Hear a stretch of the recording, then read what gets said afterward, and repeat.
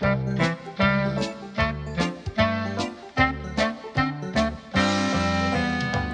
for teddy bears to rise and shine. It's a holiday today. Come on, you lazy bones, out of your beds right away. Breakfast is ready, I want every teddy down by half past eight. Get a move on, you bears, get down the stairs, or you're bound to be late. Every Ted should be out of bed, cause there's no time for delay. You'll all be late, it's half past eight, so wake up,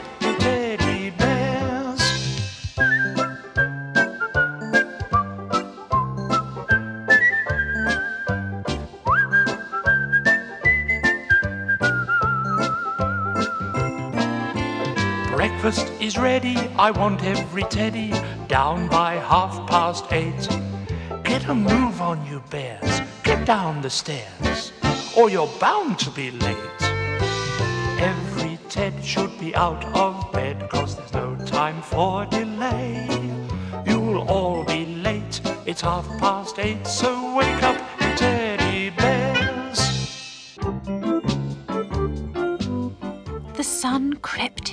the bedroom window just as Fuzzy Ted awoke. He opened his bright, shiny eyes and sat up in bed. He had a rather peculiar feeling in his tummy. It's the sort of feeling I usually get when something exciting is about to happen, he thought to himself. Whatever can it be? All of a sudden, Fuzzy Ted remembered. It's a special holiday, he cried.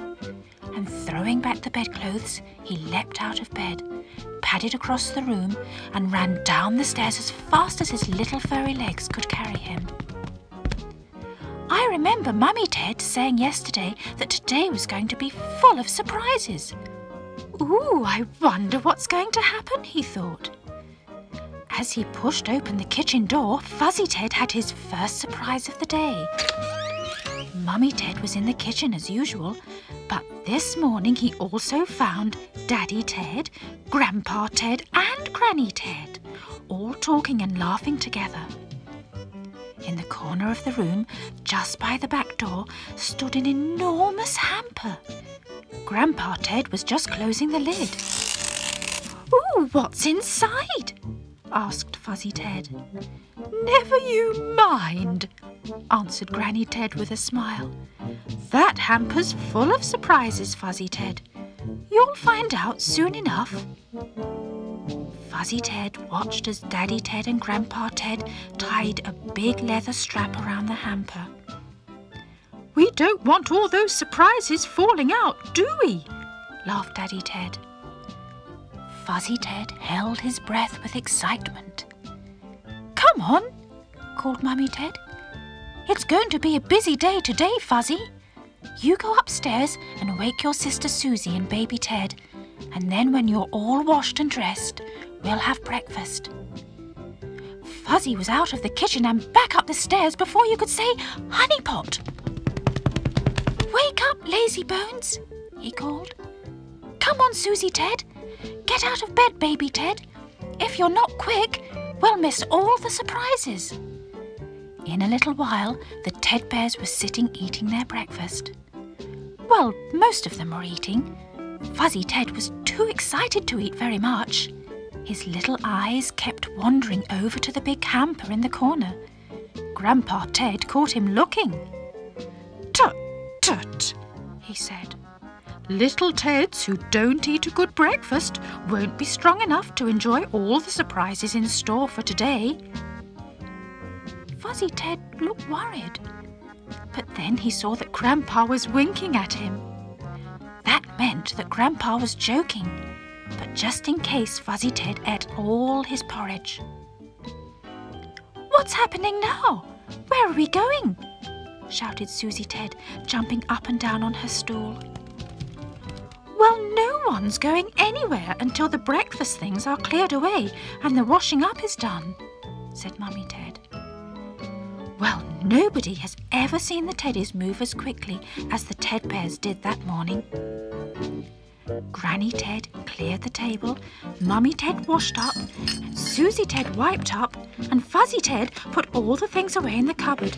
And Baby Ted raced round and round the kitchen, getting in everybody's way. Grandpa Ted and Daddy Ted had disappeared. And when Fuzzy Ted crept over to have another look at the mysterious hamper, that had vanished too. Goodness, another surprise. Right, called Mummy Ted eventually. Is everybody ready? Off we go then. When they got outside, Fuzzy Ted looked around. Where's Daddy and Grandpa Ted? he asked anxiously. We can't go without them. Oh, I expect they'll turn up, said Mummy Ted mysteriously. And just then, Fuzzy Ted heard a strange noise. Clip, clop, it went. And round the corner came a brightly coloured cart pulled by a little brown pony. Surprise number three! Driving the cart were Daddy Ted and Grandpa Ted. Room for a few more Ted Bears, called Grandpa. Jump in, everyone. Laughing and chattering happily, they all climbed aboard. Lying on the floor of the cart was the big hamper. It was a tight squeeze, but somehow they all managed to find room. Clip clop, clip clop. Along the leafy country lanes they rode. Oh, isn't this fun? shouted Susie Ted. What an exciting ride!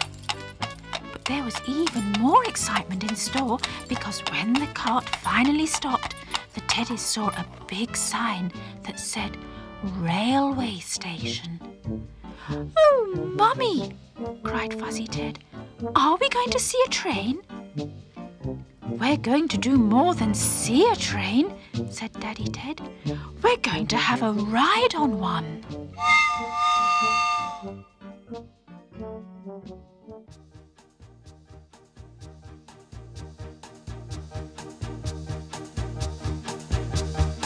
Teddies on the train, chugging through the countryside. Teddies on the train, having such a lovely ride. Puff goes the funnel as they speed through the tunnel. Toot goes the whistle round the bend. The teddy bears are having fun. The journey's only just begun, and no one wants to see it end. Teddies on the train. Teddies on the train. It's the merry month of May, and such a lovely day. For Teddies on the train. Teddies on the train. Chugging through the countryside. Teddies on the train. Having such a lovely ride. Puff goes the funnel as they speed through the tunnel. Toot goes the whistle round the bend. The teddy bears are having fun. The journey's only just begun, and no one wants to see it end. Teddies on the train. Teddies on the train.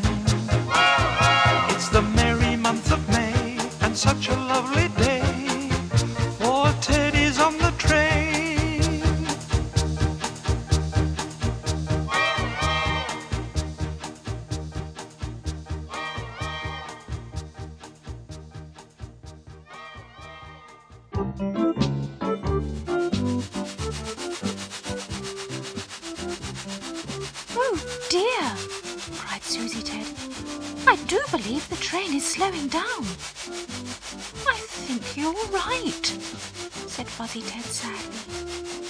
The fields and trees were moving past much more slowly, and in a little while the train pulled into a small station. Here we are, called Daddy Ted. We've arrived. Everybody out. The Ted Bears clambered down from the train and stood on the platform as the train moved away. Fuzzy Ted watched it go until it was just a tiny speck in the distance. Come along then. Off we go, said Grandpa Ted. Mummy Ted carried Baby Ted, and Grandpa and Daddy Ted carried the big hamper. Susie and Fuzzy each held tightly to one of Granny Ted's paws. Out of the station they went and across a busy road. They walked past lots of shops, and Fuzzy and Susie wanted to look in the windows, but Granny Ted wouldn't let them. We can't stop now, she said, or we'll never get there. Get where? asked Fuzzy Ted. Where are we going, Granny? Ah, said Granny, wouldn't you like to know? But if I tell you, then it won't be a surprise. You'll find out in just a minute. Sure enough, as they turned the next corner, there it was the sea! Hooray! cried Susie Ted. We're at the seaside! What a lovely surprise! The sun shone on the golden sand, and the bright blue water stretched away into the distance. A big grin spread over Fuzzy Ted's furry face. I'll race you to the water, Susie, he cried.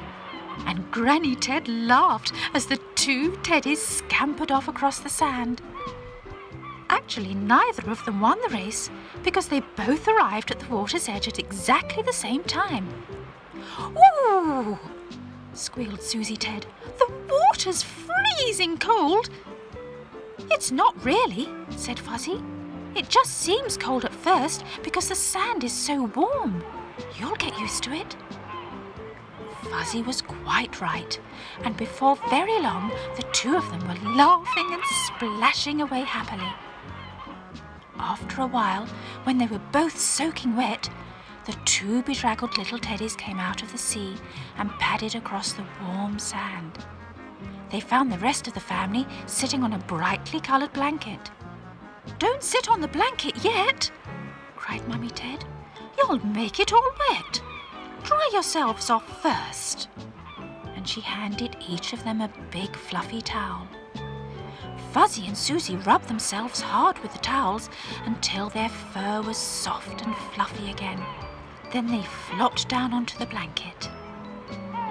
I'm starving, said Fuzzy.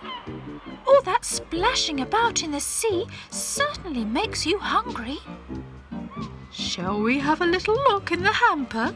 laughed Grandpa Ted. There might be something in there for little Teds who have rumbling tummies.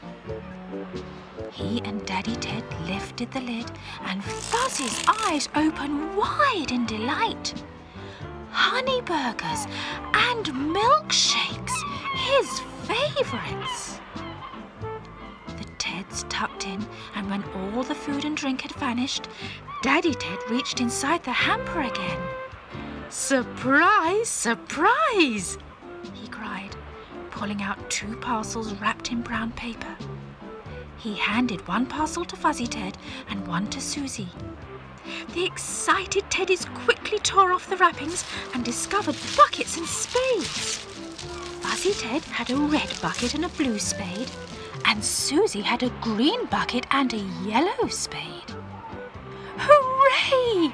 they cried. We'll build the biggest sandcastle you've ever seen. It took them a long time, and the castle got bigger and bigger. Fuzzy Ted used his blue spade to dig a wide moat around it, and Susie went backwards and forwards to the sea, collecting water in her green bucket, which she emptied into the moat. Everybody helped. Mummy Ted and Granny Ted found some pretty shells to decorate the walls. Daddy Ted discovered a piece of driftwood that made a marvellous drawbridge, and Grandpa Ted made a big flag to fly from the tower. It was hard work, but when it was finished, it looked magnificent. I think we deserve a rest now, said Granny Ted. I think we deserve a reward, said Grandpa Ted and he and Daddy Ted went off to buy some ice creams. Mummy Ted, Granny, and Baby Ted had a little sleep, while Fuzzy and Susie wandered off to explore a nearby rock pool. They picked up some seaweed and stones, which they put into their buckets. Susie found a prickly starfish, and Fuzzy discovered a large crab hiding beneath a rock. Come and see what we found, he called, and Mummy Ted went over to have a look. You can take the stones and the seaweed home, she said, but the starfish and the crab will die if you take them away. Susie and Fuzzy didn't want that to happen, so they left the crab and the starfish in their rock pool home. Daddy and Grandpa Ted returned and they all sat down on the blanket and ate their ice creams. It's time to pack up now, said Mummy Ted. Oh, must we go? asked Fuzzy sadly. Can't we stay a little longer?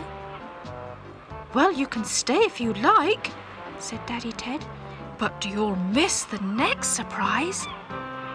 Another surprise? cried Susie and Fuzzy. What else could happen? Daddy Ted just smiled, and before you could say honeypot, everything was back into the hamper and the Ted Bears left the beach. I suppose there's no point in asking where we're going now, asked Fuzzy Ted. No point at all, answered Mummy Ted. It's another surprise.